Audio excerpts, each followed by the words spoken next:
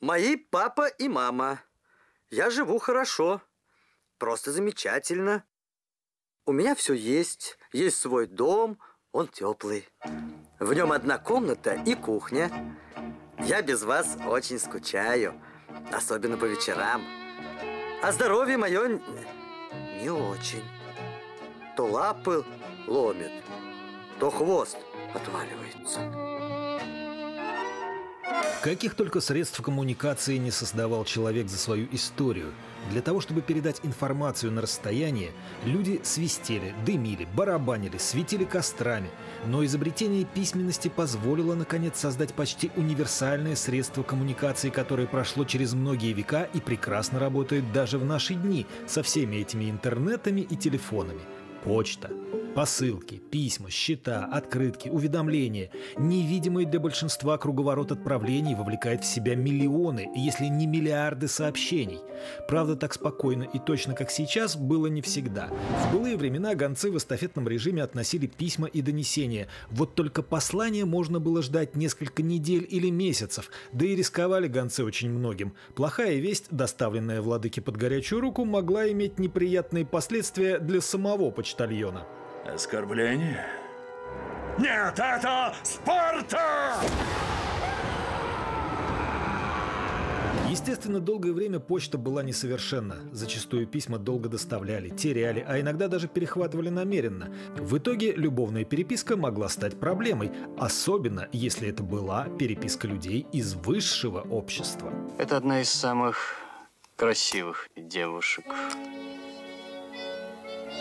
начавших в этом году выезжать в свет.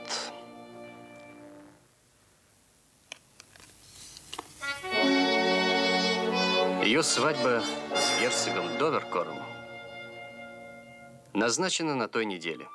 Очень мила. Однако есть несколько неосторожных писем. Именно неосторожных. Посланных ею одному бедному эсквайру. Письма похищены одним негодяем, имя которого Чарльз Огастес Милвертон. В X веке, когда на Руси еще не было почты, у населения уже появилась почтовая повинность – предоставлять княжеским гонцам лошадей и корм для них – в эпоху Золотой Орды начали строить ямы, то есть почтовые станции. Ямщики с семьями жили в селениях на почтовых трактах, ездили на тройках с колокольчиками. Их разрешалось вешать только на почтовых коней, чтобы слышно было издалека, и на станции успевали заранее подготовить смену лошадей. Но все это еще не было регулярной почтой. В 20 году появился указ, подписанный Петром I, о создании почтовых и управлении почтовыми отделениями в провинциях и губерниях. Почтовая служба в классическом ее понимании возникла в России в 17 веке. Причем первые почтальоны носили почтовые ящики от дома к дому на руках. Это было тяжело, да и людям неудобно. Не оказалось тебя в доме в тот момент – все, письмо в ящик не опустишь, придется ждать следующего почтового обхода. Так что со временем ящики начали устанавливать в определенных местах. Была и проблема оплаты почтовых отправлений. Например, в Британии аж до 19 века за почту платил не отправитель, а получатель. Было принято, что почтовое отправление оплачивает получатель, а получатель может его взять или может его не взять. Следовательно, почта несет убытки. В 1840 году англичане придумали почтовую марку «Черный пенни», на которой была изображена королева Виктория. В России факт оплаты подтверждали, поставив штемпель на конверт, но со временем тоже перешли на почтовые марки. Примерно в то же время появились и почтовые открытки. Правда, поначалу они были просто белыми картонками, карточками, а потом уже догадались картинки печатать. Но сперва этот вид связи не только не приняли, он даже вызвал возмущение. На родине почтовой карточки в Австрии недоумевали, зачем отправлять послание, чье содержание увидят все. Это же неприлично. Однако в итоге рациональность победила. Ведь получалась неплохая экономия на конвертах и тарифах, да и шли открытки быстрее. В США рационализаторы использовали почту для пересылки детей. Это было гораздо дешевле, чем отправлять дитя с сопровождающим, да и закон такие отправления не запрещал. В России детей, конечно, не отправляли, а вот к открыткам почти сразу сложилось особое отношение. Россия всегда была страной, скажем так, эпистолярного жанра. письменное общение было очень популярно. И поэтому появление открытки тоже позволяло участвовать в этом процессе.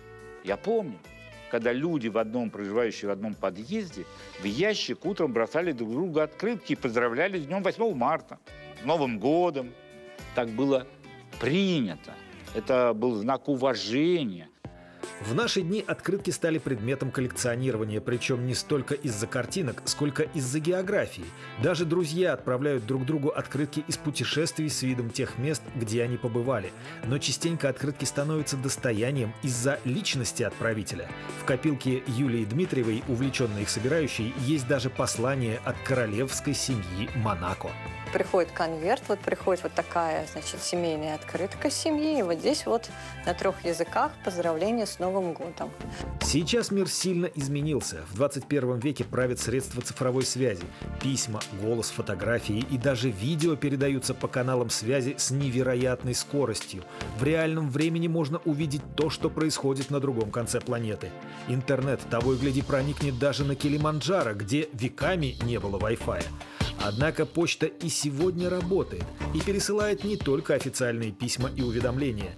Люди по-прежнему пишут друг другу письма, дружеские послания, истории из жизни, признания в любви путешествуют по миру в белых конвертах, чтобы подарить адресату тепло рук и сердец тех, кто помнит о нем, любит и ждет встречи.